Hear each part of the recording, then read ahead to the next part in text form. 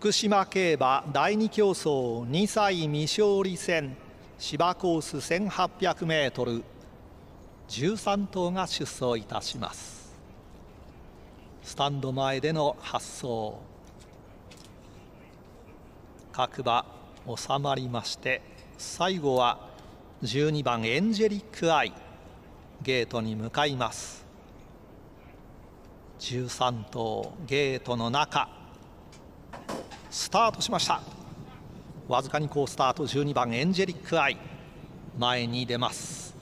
そして4番ゴールデンハインド。さらにはあんたのバラード。内は2番のラフィーニです。その後5枠2頭を笑って許してトクシーカイザー馬群の中。外は13番の当選ドリフト。中段から前に上がっていきます。その後ろには11番北のマルティス。各馬第1コーナーをカーブしていきます。先手を取りましたのは4番ゴールデンハインドリードが1馬身12コーナー中間です。5番アンタのバラードが2番手外を回って13番当選ドリフト3番手から2番手に並んで2コーナーをカーブしていきます。4番手が内2番のラフィーニ向こう上面へ。さらにはエンジェリック愛が追走して間にはトクシーカイザー。その後は1馬審査で追走します11番北のマルティス。そのうちには並ぶようにして笑って許してさらには1番のシルバープリペット上がっていきます。後方からは8番カリビアン女王そしてそのうちに10番ルアー並んでその後は4馬審査最高峰3番赤3品もう1頭いました。かなり遅れて9番のシンフォニー最高峰です。さあ各馬これから3コーナーを迎えます。逃げる4番ゴールデンハインド残り 600m を通過。第3コーナーをカーブリードが半馬身。外13番トウセンドリフト2番手に上がるか。この間には5番アンタのバラード34コーナー中間です。トクシーカイザー外を回って12番のエンジェリックアイもスルスル進出。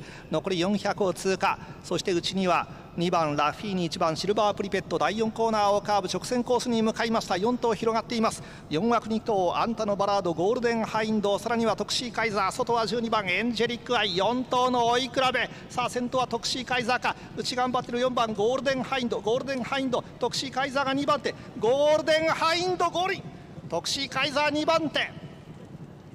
最後追い比べを制したのは内4番ゴールデンハインドです。食い下がった6番トクシーカイザーが2番手。あと最後遅れて5番のアンタのバラード外12番のエンジェリックアイ。この2頭が3番手4番手争い。1分53秒0の勝ち時計上がり4ハロン49秒73ハロンが36秒7です。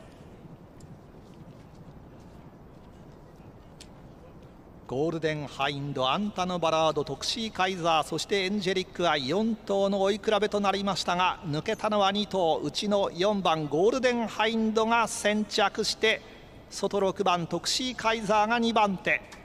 その後3番手はどうでしょうか？内5番アンタのバラードが3番手か？外は12番エンジェリックアイ。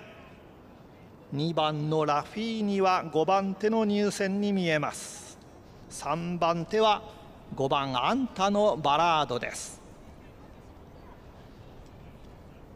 芝コースややおも勝ち時計1分53秒01着4番ゴールデンハインド戸崎啓太騎手です。2着6番のトクシーカイザー。4番のゴールデンハインドが勝ちました。4番6番5番最終オッズです。4番人気2番人気3番人気の順です。単勝4番5.1倍。枠連4号4.3倍。馬連4番6番9.3倍。馬単4番6番21.1倍。3連複4番5番6番11.0倍。3連単4番6番5番67.6倍です。福島2レース確定までお待ちください